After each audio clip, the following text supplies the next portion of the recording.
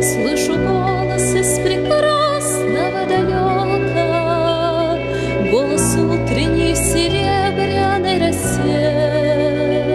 Слышу голос и манящая дорога. В Казани, в доме с маленьким участком 26 соток. Веря в дружбу растений для защиты от солнца, засадила периметр соснами, елями, березой, осиной, вязом и другими.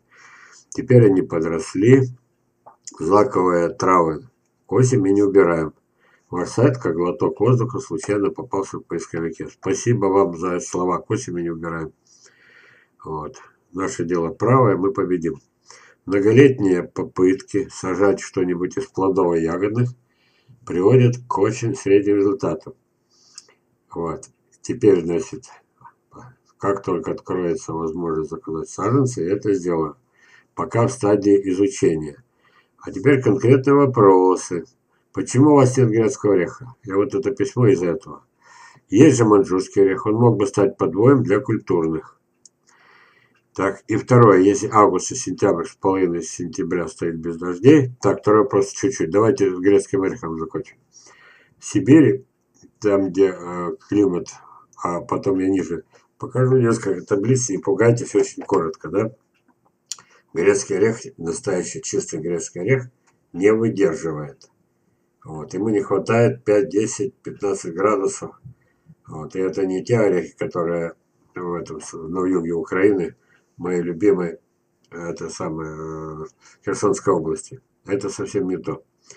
Значит, он у нас однозначно замерзает. Три попытки делал я, отслеживал еще в нескольких других садах. Селекцией мы не занимались, до нее не доходило. Два настоящих грецких ореха в аномально теплой поселке Черемушки, там где газ.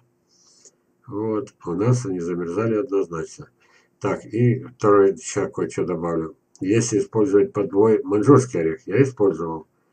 Вот, ну, скажем, привил я штук 20, все 20 мертвых. А черенки э, грецкого настоящего чистого ореха, которые вырастили в черемушках, ну, орех ясно с юга, значит, были настоящие, манжурский орех настоящий, но совместимость ноль. Короче, на этом мои руки опустились. И еще я... У нас же как орехи, каких только нет. Я уже начинаю забывать их названия, их несколько разновидностей. И есть как бы полукультурные орехи, что-то среднее между грецким и маньчжурским. Вот тут вот чем полукультурнее, тем дальше граница распространения на север переходит. Вот.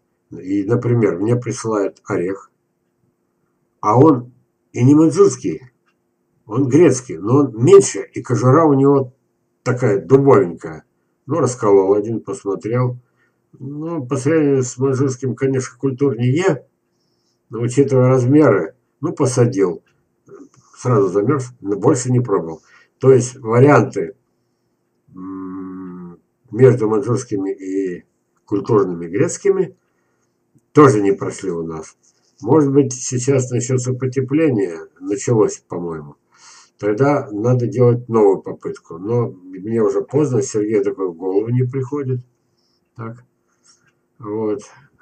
А больше у нас садоводы как-то, если было 100, остался один. Со второй соты остался снова один. Некому этим заниматься.